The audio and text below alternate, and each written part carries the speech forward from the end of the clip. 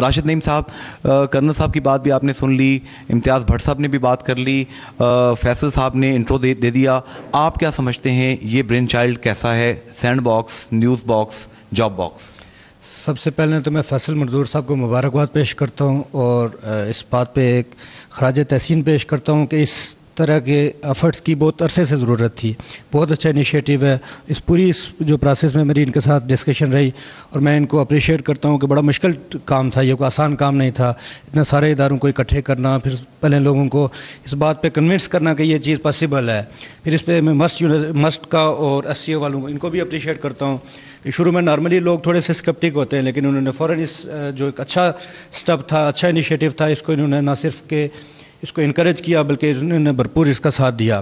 Colonel صاحب نے بڑی اچھی باتیں کی ہیں اور پورا مجھے یقین ہے کہ انشاءاللہ یہ جو ادارہ ہے، یہ جو سینڈ باکس ہے، یہ پہلا ادارہ نہیں ہوگا، یہ بلکہ پہلا آخری ادارہ نہیں ہوگا، بلکہ یہ پہلا ادارہ اور اس طرح کے مزید ادارے ہم یقیناً دیکھیں گے۔ اور پھر یہ مسٹ جیسے یونیورسٹی نے ان کا ساتھ دیا۔ پوری امید ہے کہ جو باقی یونیورسٹیز ہیں ہماری جس میں اے جے کی یونیورسٹی ہے پنچ یونیورسٹی ہے، کوٹلی یونیورسٹی ہے وہ بھی اس انیشیٹو سے فائدہ اٹھائیں گے۔ اگر فیصل منظور آپ کی یہ ہیلپ چاہیں چونکہ پنچ یونیورسٹی کو میں خود دیکھ کے آیا ہوں وہاں پہ بچے بچے بچیوں میں بہت تعلیم کا شوق ہے لیکن وسائل کی تھوڑی کمی ہے۔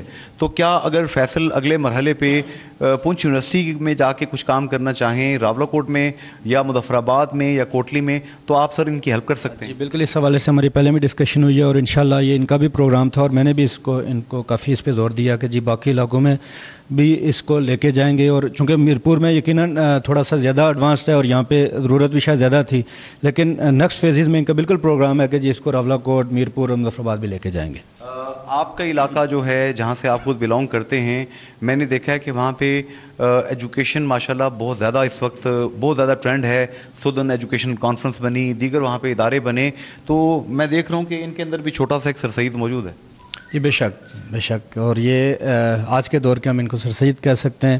کافی عرصہ یہاں سے، کافی عرصہ سے یہ یہاں پہ لوگوں کو انگلش بھی سکھاتے رہے ہیں، کمپیوٹر بھی سکھاتے رہے ہیں۔ اب یہ ایک نیا سینڈ باکس، نیوز باکس اور تیسرا جاب باکس۔ تو یہ ایک نیا انیشیٹو ہے اور یہ ماشاءاللہ ان کی جو اچھی بات ہے کہ اس طرح کی انوویشنز یہ اکثر کرتے رہتے ہیں۔ اور ہماری دعائیں ان کے ساتھ ہیں۔ اللہ تعالیٰ ان کو کامیاب کرے اور ان کے جو مقاصد ہیں ان کو بالکل حاصل کریں۔ یہ